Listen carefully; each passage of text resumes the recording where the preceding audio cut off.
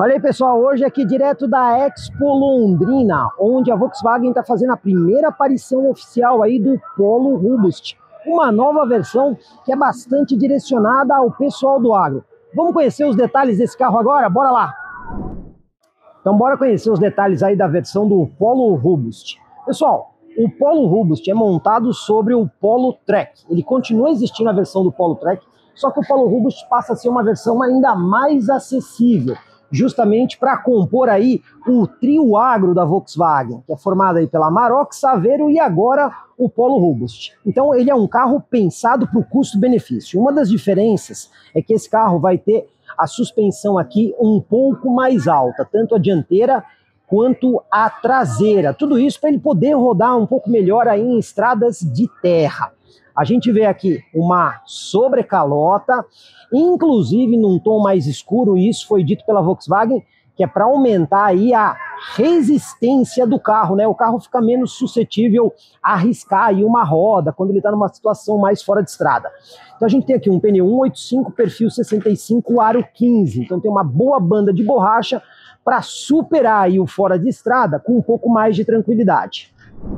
Aqui na frente a solução é bem tradicional. Você vê aí um refletor parabólico no farol, com lâmpada halógena, também lâmpada incandescente aqui no DRL e na luz de pisco. Para-choque aqui na frente, você vê grande parte aí em preto fosco. Tudo isso aqui ajuda o carro a ter mais longevidade com o tempo, né? Menos áreas pintadas, menos chance do carro riscar e ter aí uma aparência de um veículo, digamos assim, mais usado. Aqui na lateral, espelho preto fosco, tem o repetidor de seta incorporado e a gente também tem aqui a maçaneta em preto fosco. Tudo isso pensando sempre no custo-benefício e na longevidade do conjunto. Por dentro, o carro é bastante racional. A coluna de direção, por exemplo, olha só, tem aqui o ajuste, né? Então você vai ter ajuste de profundidade e também ajuste de altura. Outro detalhe que a gente vê aqui acionamento elétrico dos vidros dianteiros e trava elétrica. Já o espelho tem aí um controle manual.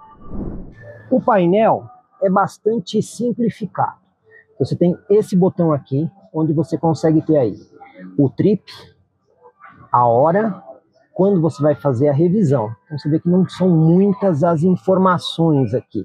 Tem a temperatura externa e tem também ali o um indicador de porta aberta, além do conta-giros e velocímetro.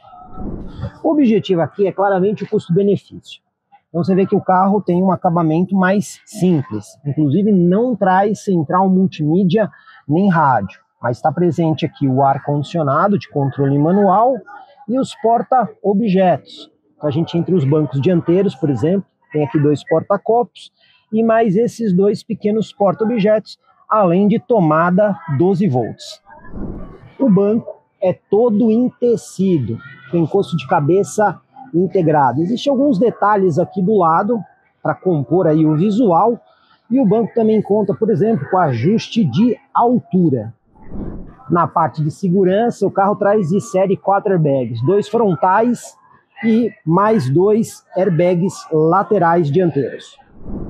Aqui na parte traseira, o carro tem o essencial. Então você vai ter cinto de segurança três pontos, encosto de cabeça nas três posições. O acionamento do vidro aqui é manual na parte traseira. A única coisa diferente é esse ganchinho aqui do lado que você pode usar, por exemplo, para pendurar uma jaqueta. A abertura do porta-malas é feita por botão aqui no câmbio ou até mesmo pela chave de telecomando, que inclusive é do tipo canivete não existe botão aqui na tampa. Então você tem que fazer ou pela chave de comando ou pelo botão lá dentro do carro. O porta-malas é aquele que a gente já conhece de outras versões do Polo, mas essa versão aqui, justamente pela questão do custo-benefício, não traz o tampão. Esse tem que ser comprado como um acessório.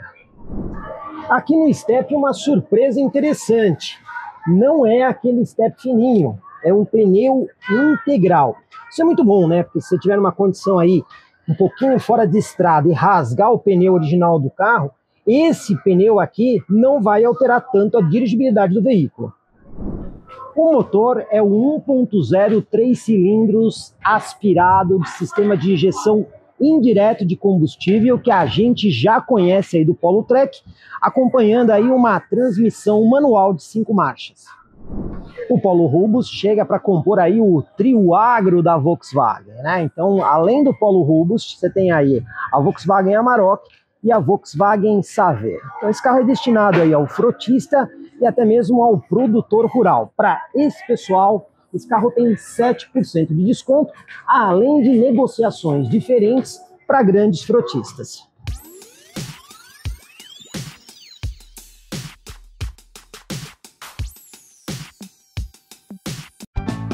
Comprecar é ideal para quem quer vender.